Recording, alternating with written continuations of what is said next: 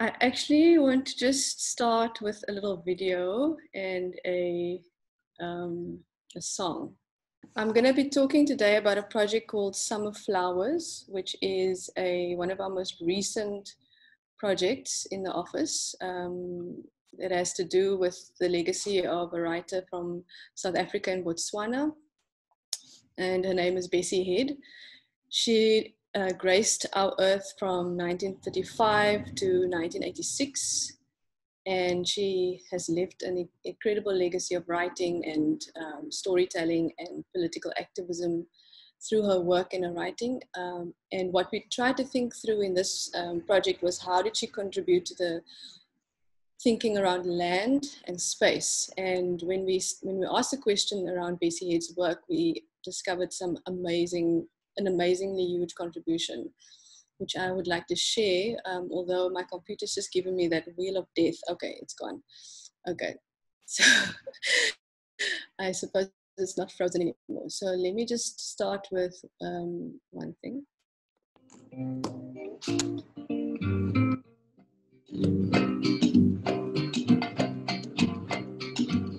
When the white men first came here from over the sea he looked at said, This is God's country.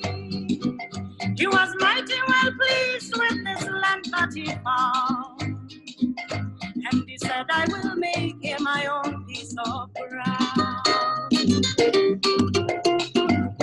Now, many's the battle oh, he still had to fight.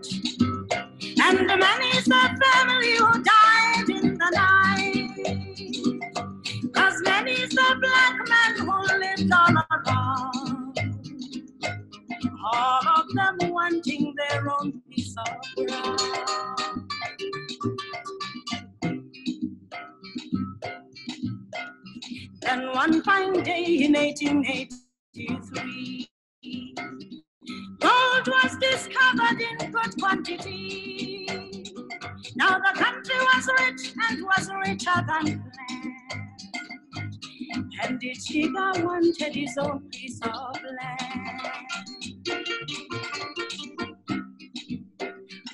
Diggers were few and the gold was so deep.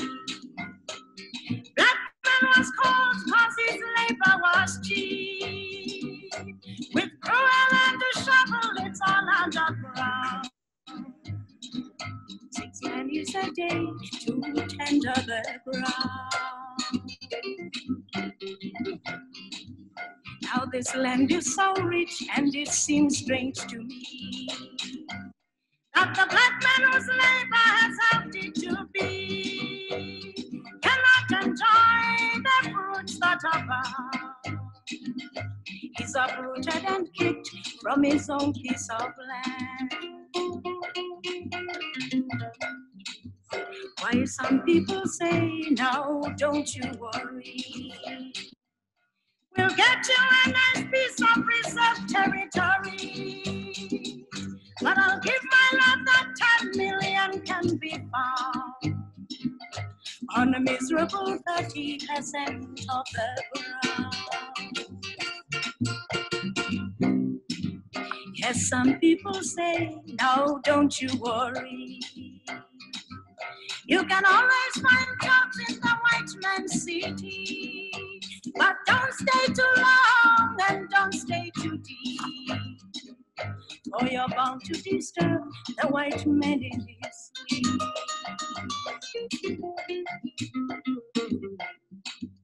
White men don't sleep long and don't sleep too deep.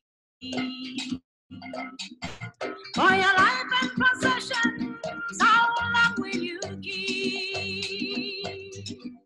Cause I've had a rumor that's running around. For the black man's demanding his own piece of ground. His own piece of ground. His own piece of Thank you. Um, that song that you listened to now was a song by Miriam Makeba, and um, it resonates very much with the work of Bessie Head and the fact that Bessie wrote herself that her main concern is the issue around land and um, how land was lost in especially the southern parts of, of, South, of southern parts of Africa. So um, I'm gonna I'm gonna be quite fragmented in the presentation and show um, clips, voices, and um, snippets of the of the publication that we made because the um, the actual project itself is quite multidimensional. It is something that we worked over um, over a period of uh, nine months, and it culminated in this graphic that you see on the screen now, which is um, a kind of a broad map of how this project unfolded, and um, uh, it it is mean it is meant to actually think about this project both in its kind of joy and suffering because it is a kind of a project around suffering around people um, you know a kind of a, a broad suffering of a, a, large group of people a personal suffering through the through the work of bessie. And and if you know any anything about her history she um, she was a person that suffered from mental illness um, and um, ex, um, you know being expelled from South, South, Africa and then also having to um, survive on on on a meager kind of writer's salary. But we also wanted to celebrate her contribution towards this big, big conversation around land and and politics of, South, of Southern Africa through looking at two things the first was her house in Serowe, which we which she built in 1969, and the second is her garden, um, her garden around her house, but also a garden that she cultivated with a group of volunteers, um, which became a, a, a communal garden in one of one of Serowe's um, first communal gardens, and started by the Boiteko group. So on the screen, what you see is a, um, would like to call it a map of how this project unfolded, which is a series of plant fragments, um, photographs, and um, small notes and and and um, and uh, remnants of our on-site explorations, essentially.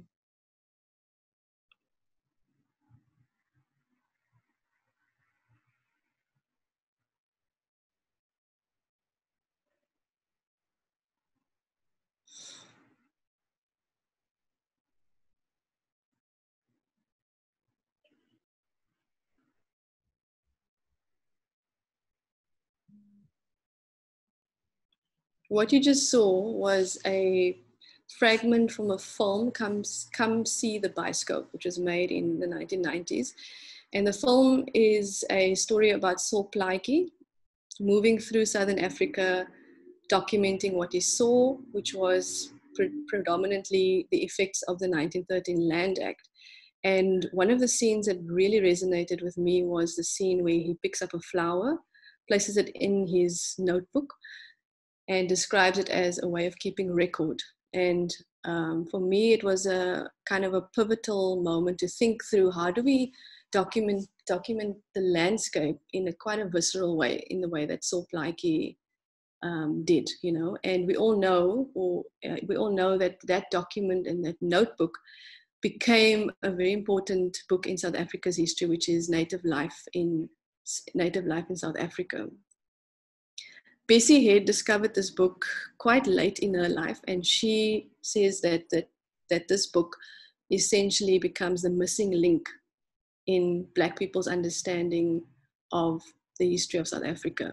She was completely moved by it and wrote the foreword for the republication in 1982. Um, so for those who don't know, but the first line of that book has been compared to Kafka's uh, Metamorphosis. And the, the, first line of the book of Native Life says um, something like, um, on, the, on, on, the, on this day, the native um, wakes up as a pariah in his own land. Um, and you can just compare it to the first line of Kafka's uh, Metamorphosis, which um, some people in um, the literary world have done. But what we felt like doing, or what we thought of doing, is to, to perform through this publication a similar act of documenting the land, but in a way um, through the work of Sol Plaatje, through the work of um, Bessie Head, by collecting these fragments, collecting fragments from Bessie Head's house um, and from places of forced removal and um, other sites that begin to talk about this loss of, of space and loss of cultural um, cultural imagination, the loss of the social imagination, or how do we reinsert the social imagination in these spaces? And we began this process of um, collecting, um, collecting these kind of fragments. On the screen, you see a fragment of, um, oh, sorry, a fragment, part of the part, part of the um, part of the flowers that we collected in District Six um, and in, in, Hanover Street, and um, and in Kirsten, in, close to Kirstenbosch, which is Protea Village. So the lily, for instance, um, or the iris, actually, the iris comes from Protea Village. Hibiscus comes from um, the Protea parking, which is now one of the parking lots in District 6.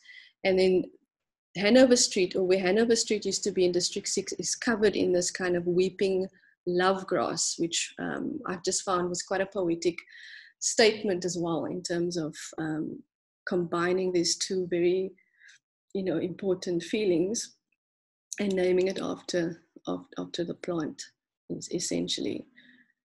Another one um, that we found was, sorry, I'm going to have to get a little bit more efficient with these screen sharing situation. Um, but this is this is another one that we found in Hanover Street and photographed in as part of our exhibition. Um, this one here, which is a, a closer look at the at an iris that we found in Papenboom Estate, which is close to Woodstock, and a, um, a Watsonia close to um, close to Kirstenbosch. And these are all sites which are covered in this very beautiful botanic botanical landscape, um, but essentially, uh, you know, was the, is the memory of neighborhoods and of, of people, uh, black people that used to be in those spaces and, and share lives together and build neighborhoods together. Incidentally, this one, um, this is not strictly speaking an iris, it's more of a flame lily. And we chose at the time, we chose this one um, as a um, quite a, I mean, a lot of the a lot of the choices that we made in the beginning to collect and to compile were aesthetic, but in the end it turned out, and I'll, I'll share some other stories later about how um, it culminated into the publication and and the and um, and the mural. But this one we decided for no reason at the time to put into native life, um, and um, I'll explain to you now some of the magic that happened after that, after we did that. So once we um, once we were kind of happy with all our um, all our collecting and and um, and uh, you know thinking through and going out and we were quite a team of people it was myself louise brookman uh, Nogobegizela, Kunu, uh, Megan Hotong, my two kids because it was school holidays at the time. Um, it was a it was kind of a day long exercise. Um, uh, Mola was also part of it, you know. So we we came together and we just looked at these fragments, you know, and tried to think through and meditate. A lot of the research work and a lot of the thinking is about reflecting and meditating essentially you know thinking through what does this mean? What does it mean when you collect these fragments place them together begin to um, uncover the names? Louise was the landscape architect on the team so she could easily identify some of these fragments that we that we um, that we collected. And what does it begin to, to, to, to feel like and it began, it began to feel to us like a new garden a new kind of space a new spatial intervention um, and and we obviously decided we're going to have to um, make some kind of a public event around this. And what we then ended up doing is we had a um, event, made this kind of, I don't know, invitation to everybody. We compiled that, um, we compiled a catalog of all the plants that we collected. And we in, made a public invitation. We said, come to the studio bring a fragment from the from from from the catalog that we made publicly available and contribute to this garden in the name of or in the kind of thinking through extending the work that of Bessie Head. Um, so many people came to the event and we um, uh, we we extended the work. The catalog video that I showed you in the beginning was a kind of a way of um, you know setting out quite technical information about the plants that we collected and all of that. And in the end, um, you know, it was it was a kind of a um, um, it is the, the, the thing about um, restoring some of the practices that were lost because of these um, erased landscapes is to begin to restore communal practice again. And how do we how do we begin to um, establish some communal practice through research? And one of these things that we like to do is to have a kind of public engagement and public activity and public showing and then a gathering um, and allowing people a really allowing really, really people into the into the research and into the storytelling but also allowing people to to extend and to and to think through with us what does this all mean um, I'm just trying to find an image of how that happened. But one of the things that we did right in the beginning is to hold a um, children's workshop um, around around this um, around around the work of Bessie Head because uh, you know Bessie Head is actually not very well thought of um, or well known. Um, I invited a group of children, including my own to just begin to make a kind of a, um, a garden on, on the day that Bessie Head would have been born, which was, a, um, or on a day of her passing actually, which is in April. And the children, you know, not knowing much about her, you know, really kind of um, gladly participated in this kind of magical, um, you know, moment to think through. And while the kids are cutting and pasting, you know, um, I sort of read fragments from a book. Um, I told them who she was and what she did and how um, how important a legacy is. And, and um, it's a kind of an alternative way of educating, you know, um, rather than sort of a didactic uh, way of showing uh, of, of showing children, young children, um, somebody's work, you kind of make them make something while they're learning. So they came up with quite fun things, and also, you know, the, in the background, um, this research was a commission from um, the Chicago Architecture Biennial. So um, right in the beginning, I did I did say to the curators that I, I don't know what we're going to be doing for you guys in Chicago in September. I don't know what it's going to be, but I trust me, there will be something.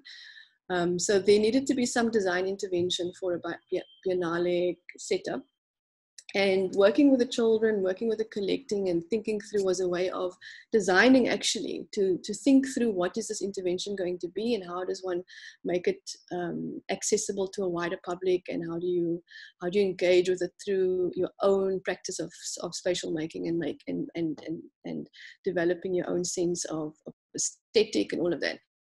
And I must say, the children actually taught us a few lessons in design and graphic design and thinking through what one can do with, with, um, with, with anything actually. Um, and at the same time, our, our gift was to sort of exchange knowledge about Bessie Head. And one last image from that whole exercise is um, is this is this image this image really became the kind of key, uh, the, the, key image, you know, um, Bessie Head standing in a garden and her, her partner and friend, um, Bosele Sienana, in the background. And um, essentially the pamphlet or the publication begins to emerge or the form of the publication begins to emerge through an exchange with um, with the young children and with the exchange with collecting and, and obviously you know colleagues in the office and um, and and how do we then collectively make this thing so we made it a point to go to Serowe, it's Botswana, to go and photograph the house and to make a film. So the, the house features quite strongly in a film that we produced for the biennial. Um, but not just that, we wanted to speak to people that we've been communicating with via email um, before that, um, some pe- people from the BCA Trust, and get their blessing for this research, you know, and get their blessing to, to kind of extend the work and um, uh, fortunately, they were more than happy to endorse this work and to um, participate through exchanging, um, uh, you know, rights to some of the images um, and some of the quotes that we used in the publication, and also obviously pointing us to um, to other resources such as the Khama Museum. The Khama Museum in Serowe is, has got a um, a kind of a, um, a, a, a setup of Bessie Head's writing room where she used to write. Like um, Tom Holzinger actually set up this space where you can visit and imagine being in the space where Bessie Head would have written. Have written all her novels.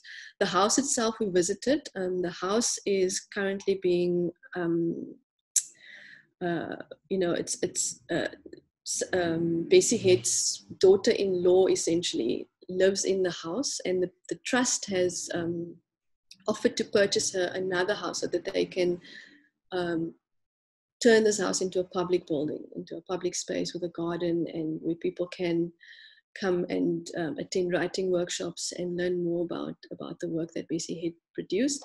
Um, I needed to also understand the dynamics between the trust and the current owner, and um, it, it's it's extremely um, collaborative. You know, we found that um, the the person living in the house, the name is um, Mosadinyama Mayombela.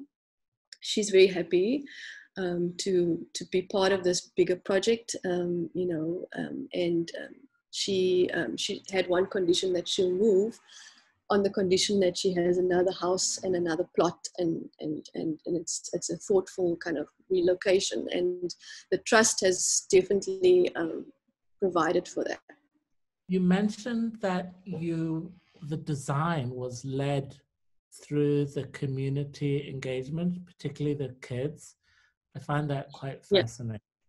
Yeah. Um, like because it's like it's very striking, and I'm sure you're gonna show like the installation view maybe yes. later. Yes. I mean, like getting there. Like, were you conscious about the the materials you limited them to, like to to begin with? Do you know what I mean? Yeah. Or, yes. Or like like the glitter for me, like the glittered paper like for me i can imagine like that was more from the kid side like yeah yeah yeah exactly i mean we i mean i do these workshops with a friend of mine frankie nasimbeni and mm-hmm. um, you know we always our main task is to provide the material you know and the and kind of a, a little bit of a prompt as to what we're going to do but that's basically what we do you know we say i said to the i, I literally said to the kids guys this woman called Bessie Head. She, she was an incredible writer. And they were like, yeah, yeah, yeah what are we going to do? and they were like, um, so I was like, let's make a garden. Um, and these are the materials. And, uh, you know, we're just going to play, you know. And the kids were like, yeah, cool, we can do that. And they made, they made these incredible sunflowers and cabbages and um, little snails, as you saw. And, you know, we provided the material, but how the material was used was um, completely they're making, you know. Um, so definitely, you know, do a lot, a lot. Well, you know. Say again. It's like placemaking as well. Yeah, yeah, exactly, exactly. So um, we drew a lot from the energy of the kids and how how they make, which is not a kind of a very, you know, sometimes you know we we very controlled in how mm. we hmm. make and how we do things, you know. So the kids they have no inhibition, they have no inhibitions, you know, and they've got no you know they don't have any anxieties you know so around making art so um so that's that's kind of what i drew from that so um, we've been talking throughout the day about entering things from other gazes and and you know um, somebody brought up earlier the idea of the plan and the section and, and, and all these forms of control that we have. Mm. Um, and I think that it is, uh, it's such a celebratory form of agency um, to be able to, I don't know, like use, use Mm. mothering as a form of practice in the way that you, in a very serious way, um, Yeah. with so much substance also. Yeah, I don't have a choice, Samaya. They're all around me the whole time. Incredible. I know, and I'm I'm also not romanticizing the struggle of any of it. Um, yeah, yeah, I think, I think No, I love I love my kids, but like I when I was when we- when we were- when they were really small, I had two choices. Either I cut myself completely off them and just work like an architect and like a Mm. kind of a crazy architect, or I actually make them part of the pro- projects, you know, and Yeah. in that way, not just uh, become the strict architect and then I go home I'm a mother, you know, and then you know your mothering is completely unrelated to your work and you know and work you know sometimes it's it's just fun you know?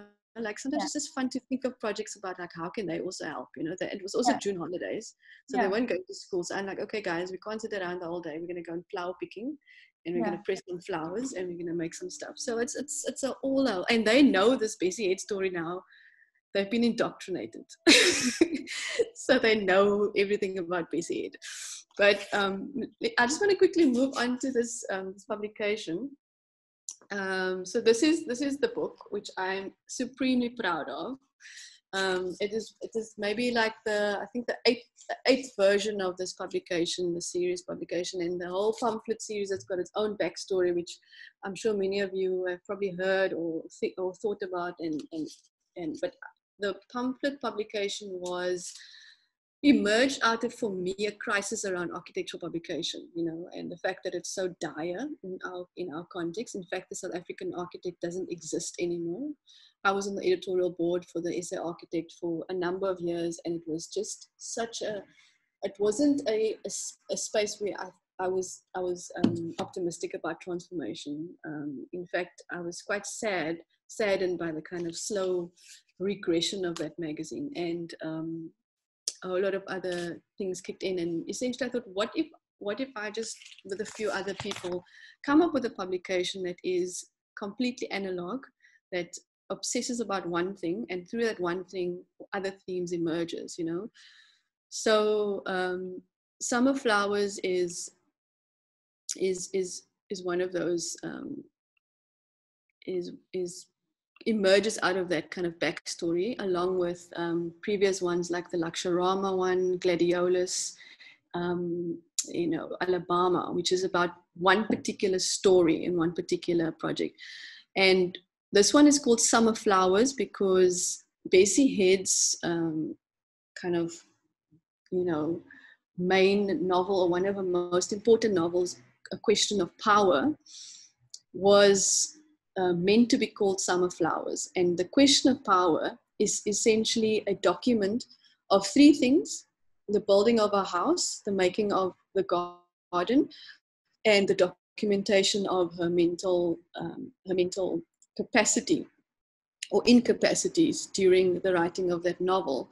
She experienced um, what um, I think two mental breakdowns during her lifetime, and um, this one is supposedly meant to document one of the major uh, mental breakdowns that she experienced, although it is cast as a fictional fictional book.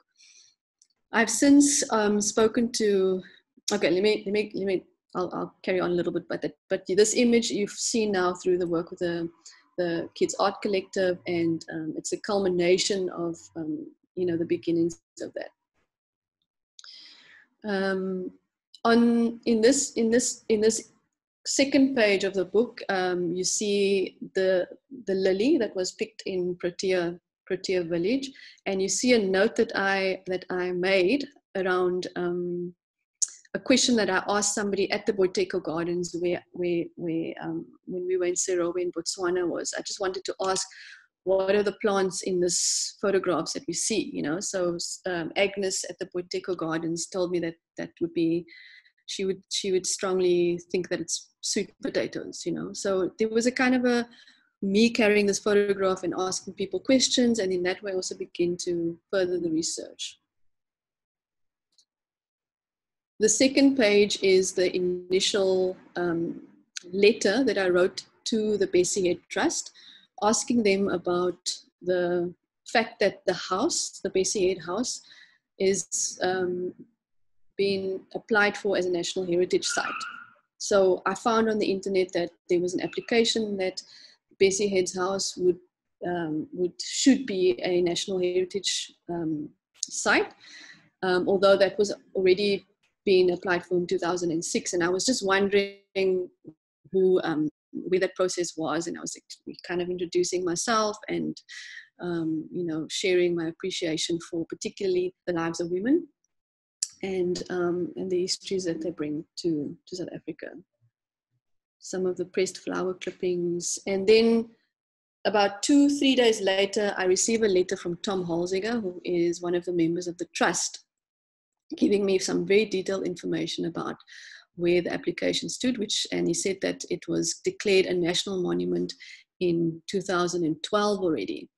And Tom is an important figure because he is he was a, a very good friend of Bessie Head's, and he features in a question of power. He features in the book, and he told me that that book, the only it, it, basically the entire book is true. He was there the whole time while it was written, and he had one issue with the fact that she called him a Peace Corps um, worker when he wasn't a Peace Corps worker. He was a he was a kind of a, a volunteer, and he was he said that's the only the only um, you know slight deviation from the truth that he saw in that book. But then in this letter contains the kind of conversation around um, how to proceed with that work. Um, remember I, I showed you an image of the lily that we picked, the flame lily. At the time I said that we sort of decided, you know, very arbitrary that this should go into Sol Plaatje's book, The Native Life. But later on, when we were preparing the, the pressed flower clippings for the exhibition in our office, I decided to pay more attention to what Bessie Head wrote about native life. And this is what she wrote. She goes, Native life does not fail as a book of flaming power and energy, astonishingly crowded with data of the day to day life of a busy man who assumed great sorrows and great responsibilities, who felt himself fully representative of a silent, oppressed people, and by sheer grandeur of personality, honored that obligation. So when I read this, this phrase, a book of flaming power, it just shook me because that is, you know, that is the book that we chose to put the flame lily in and um, it was one it, those are the kinds of um, you know connections that gets made quite arbitrary or intuitively that become these quite key moments in the research you know um, and at one point a, a number of those kinds of um, you know other dimensional um, aspects of the project emerged. And um, the, what you see on the screen is, is the is the actual you know pressed flame lily um, right next to or right after the, the, the the native life book as you saw before.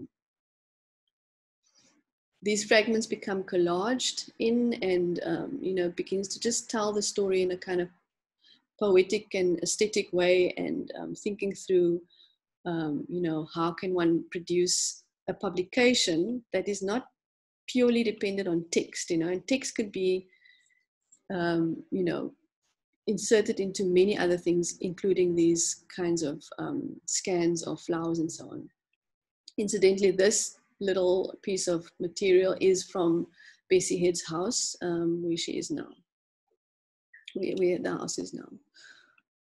I received a letter from Khotso Lamola, and in a letter, she was just, um, you know, documenting some of the conversations that we had around um, Bessie Head's work with Wanderings about um, Robert Sobukwe. And um, we, the two of us had quite a lot of conversation on the work of Irit Rogoff, you know, and how, how, you do, how do you become the research how, how does research, um, how, how does research become just not a, a tool about knowing, but about making a contribution, you know, and it's not just about, you know, finding things out or discovering things, but it's actually about restoring some work as well, restoring some some injustices and and and kind of you know collecting wisdoms about to intervene. So that is what that is about, um, and this is a kind of a text that we found that was directly linked to Bessie Head's house and what she felt about it. And um, what she said was that, um, how can my home be this? Most priceless, defenseless, most valuable, valueless, most welcoming, forbidding. Tread softly, the walls breathe peace, deep, dark, black peace, and the wind don't blow. And I mean, it's it's an incredible text because it's very descriptive of an inner life that she lived within this house. Um, but it's what it's it's a typical kind of um, contradictory way that she describes the world around her. The middle of the um, the publication, you see the architectural plan, and um, when I saw this architectural plan, I realized this. I mean, I saw the plan right in the beginning of of of of, um, of this project, and when I when when I started reading the plan, I realized that this is going to be an important contribution. What you see is a is a very modest house, in a way, remnants of the kind of RDP houses that we know in South Africa. Um, but the plan is distinctly different from that 51 stroke 9 house that we know because Bessie had um, imagined this house and she she could construct this house from the proceeds of a book when rain clouds gather um, so she paid for the house from her writing money and she was assisted by an architect to just you know help her with the technical um, layout of the space and to supervise some of the builders. But um, she she basically commissioned and designed this house herself. And what you see is that this the house you actually enter from the kitchen you know. So you come this is the front door you enter from the kitchen and from the kitchen is where you go into the room on the on the left which is the, um, a bedroom it's essentially a bedroom now but it was a dining room and that is where her son lived um, or sleep slept and this is a bathroom and on the, on the right hand side is her writing room and her sleeping room very modest as i said but when I looked at this house, I realized this is the kind of house that we all know. You know, this is the way you enter your grandmother's house, or the way I entered my grandmother's house, is through the kitchen. But the kitchen is normally situated at the back of the house. And um, with Bessie, she just, you know, she didn't have any of those kind of um, qualms about a front room or a, a lounge or any of that. So for her, the entry is very direct into the kitchen. And when I discussed this plan with other friends of mine, they also said, you know, we also kind of, you know, enter our house, enter my grand our grandparents' homes from the kitchen. It's only the priests and the people that you don't know so well that enter through the front door, you know. Um, and for me, um, as an architect, I've never, I don't know, you guys are all architects. I don't know, I've never really seen a house like this. Um, is the kind of first time that I see this, and I believe it's quite common now in Botswana to to build your house like this, and something that you know as an as an architect trained in South Africa, you don't recognize the contribution of this kind of um, you know direct building of um, of how to enter, and, and it's it's kind of very resonant of the way um, Bessie Head was as a person, also, you know. So as I said, the book, the, the house is completely subsidized by the proceeds of this of this book. Um, when Rain Clouds Gather, her first novel that um, entered her into the kind of global literary world um, and was published in London and read all over. And um, Bessie Head was, um, and she wasn't living in exile. She was she she left South Africa because of a failed marriage. That's what that is what she said um, and because of you know the way South Africans were being treated, Black South Africans were being treated in South Africa, and she found a space in Botswana. But the South African government said you can leave, but you can never come back. And she lived as a refugee for um, most of the time that she was in Botswana, and eventually got citizenship in the 70s, I think. Just quickly going to go through these. You get a sense of the publication and the kind of how the clippings then enter into into the conversation. Each pamphlet has got a blank page, and the blank page is a kind of a monument to the erasure of of these um, of these spaces and of these um, communal practices that were erased through forced removals. This image is um, brought was brought to me by um, Khan, and she she reacted to the catalog and brought this gigantic um, um, um, leaf to to the to the to the conversation, and we just had to had to include it into the into the publication purely because of its drama. I mean, it's just a beautiful fragment of of, of flower. And then the last amazing story is um, is this one where one of the things that we did, um, one of the questions that I that I asked to um, the colleagues working on this is that let's look at Bessie Head's photographs of herself and try and um, complement the her clothing. You know, every time she was photographed, she was wearing a floral um, clothing or dress or shirt or whatever, and try and identify the flowers that that could have actually, um, you know, that could depict her clothing style and this one's this one, for instance, was uh, identified by Louise as a yesterday, today, and tomorrow. And at the time, you know, these two conversations of identifying the clothing and um, collecting and trying to understand the photograph happened quite independently from each other. And when we came together, I shared the story with Louise that, um, you know, this was, it was told to me that Bessie Head is talking to a fortune teller here um, in District 6. And she was also a journalist for Drum Magazine. So this is probably one of those Drum Magazine. Um, uh, she was a so, sorry, she was working in the Drum office, but she was a journalist for the Golden the Golden Gate um, um newspaper. But Louise said to me, "Oh yeah, so so what?"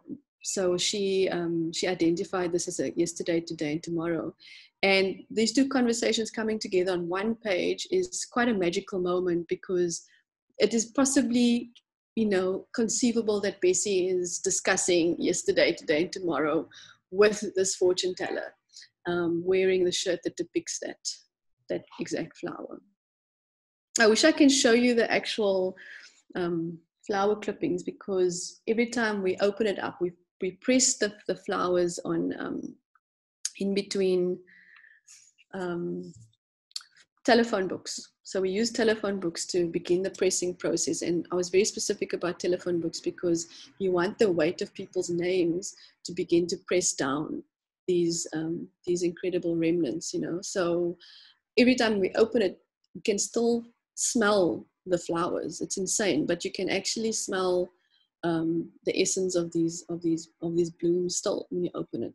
So you can have to just imagine via the Zoom sphere what these things smell like. But um, there's a, a, very distinct fennel smell, the hibiscus smell, and um, you know the kind of um, very strong smells of the of the other of the other flowers. Um, yeah, and that's that's essentially you know all the people that were involved in this. You know, um, the curators were incredibly um, supportive of this, you know. So Paulo Tavares, Yesomi Umolu, and Sepake Angiama, they were incredibly, incredibly supportive because I said to them, look, you know, this is definitely going to be a process, you know. Um, you know, I haven't experienced curators being so generous in their trust and support for projects and also, you know, really supporting it through the resources that's required for this. Um, so um, they were kind of very happy to be fed these fragments every now and then and you know trust that something will come out of, of this process and then the Bessie Head Trust were um, you know um, headed by uh, Leloba Molema, Mary Lederer, Harold Head, who is um, Bessie Head's ex-husband, and um, Lesedi Kiatewa, and Posele Sianana is still alive. She's in her 80s. She's the woman that's also on the front cover of the publication and she remembers um, Bessie Head not as a um, writer. She said she never knew Bessie was a writer. She only knew her as a gardener and as a friend, you know. So it's also interesting to think through the different perspectives of of, um, of these um, of these different conversations that we had. Spoke to a lot of people who had um, who had previous meditations on the work of, of Bessie Head. And the key kind of the key concern for us is that essentially during the time that Bessie Head was making this house and this garden in 1969, South Africa was undergoing the most brutal forced removals at the same time during between 1964. I mean, previously we had you know the remnants or the, the consequences of the land act but in the kind of 20th century or late 20th century modernist slum clearance that was the kind of um, main act of forced removals from district 6 of firetown and the Vlakte Loyolo all these the social engineering and the kind of legacies that we sit with now as special practice, practitioners in, in south africa kind of occurred at that moment and at that moment, Bessie and Bosele and um, you know Tom and all these guys were imagining a new space of communality through the garden, and that is what we essentially want to firstly tell the story of, but then also begin to um, pay homage to. Um, any questions at this point? I'm going to just show you some slides of um, what in the end happened in um, in um, in the biennial. So we have some prompts in the chat, Ilze. Sorry. Um, uh, no, I said we have some prompts in the chat. Okay. Okay, I'm supposed to look there as well. No, no, no, no, no. You're not supposed to look there. I'm. okay. okay. Don't uh, worry. Cool. Um, I'm just gonna ask Zoe. Do you want to chat with Ilze? Um, or should I read your questions? Um, yeah, I think. Sorry, my questions were a bit um that I my internet was going out, so maybe I was writing things, and then you said something that I mentioned, and it was and it was um. But I've just found your um, project really fascinating, and this uh, especially this interaction that we have um in person with um with nature and with artifacts and textures and i i just had this vision of like um another one of your workshops maybe using some of the local materials to create a natural material that the children could interact with and i could just see it because i'm come from an arts and textiles background and for so long as a teacher we were using uh, materials which i knew would be thrown away and it's one of the reasons why yeah. i look at biomaterials and i was thinking about how mm. beautiful would that would be for them to be able to create their own materials and and be inspired yeah. about the environment around them um yeah i just i, I think it's a just a, an amazing uh, work that you've achieved and and just from that one of the last pages with the um with the dress of of, of um, Bessie that I thought that there's a group called um, the uh, Association of Dress Historians that I think would be oh. really interested. Um, they they always look for papers around uh, what people are wearing from different cultures, different oh, regions, oh, and I think that could be quite maybe mm. uh, project for a section of it. Yeah. Oh, cool.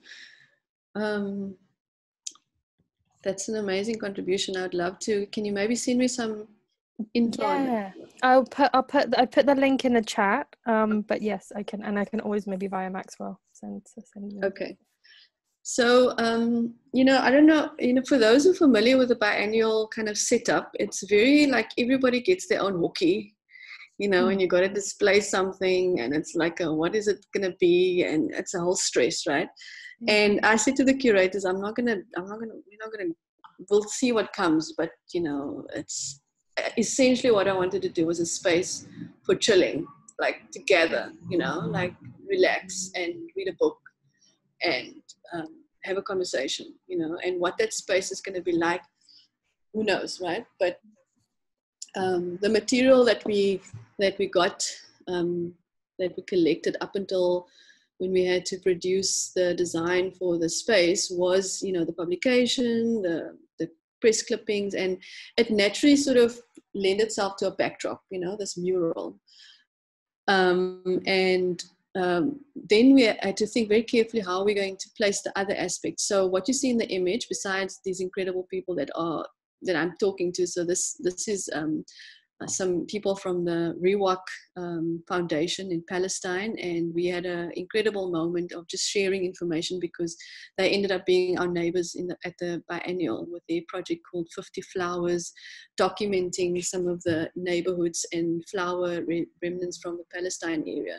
So our work with um, between our work on the kind of Southern African landscape and flower clippings resonated very strongly with what Riwaq was doing. Um, and their work was a lot more technological. So you had to scan with a QR code and you get the whole map of where the flowers come from and so on.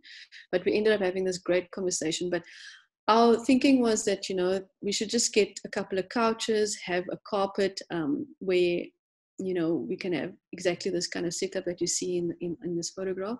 And I asked for, um, for, for earphones that you can listen to Bessie's voice. So uh, on a loop in, on the earphones, you could hear a 23 minute interview with, that Bessie Head had in 1984 with a woman from Adelaide. And um, I can maybe play some clippings of it late, later, but it's a kind of her, it was very important for me to hear what her voice was like, you know. Um, so the sonic dimension of this project is, is quite strong. Um, on the screen, while you're listening to the Bessie's voice, you can watch a film which is almost the same length of the voice recording. Um, and in there, it's a kind of a document of the house and of the garden and um, going through the archives at the Khama Museum and um, and then um, how did how how this kind of um, documents the process.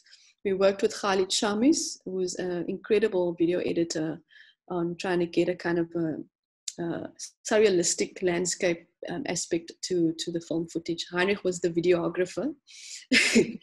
um, so he recorded very beautifully this process, um, and he's an amazing photographer himself.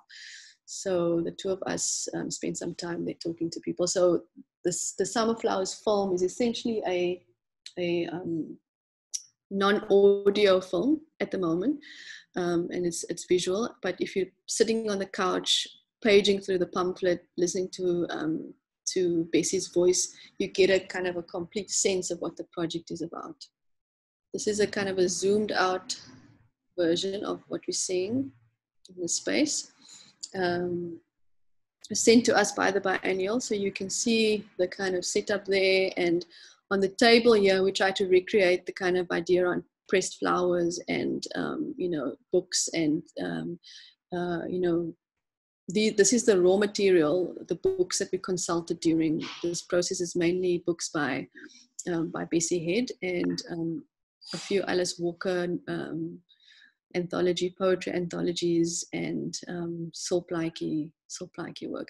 Incidentally, what emerged out of this project is that Bessie Head's novels is not at all easily accessible in, in Southern Africa. You can't really buy her books easily. You know, Amazon you can get some of it, um, but you know it's it's it's very rare to be able to buy the books. And one of our strategies was to get the Americans to buy it, and then basically the whole library got shipped back to us. You know, so I have all these books as part of a library in our office now to consult and to think through and um, to understand. You know, and, and that was kind of a an agreement that we made with the curators, you know, so that it becomes a roaming, it becomes a kind of a library of works, and it could really essentially be be anywhere, um, pop up anywhere.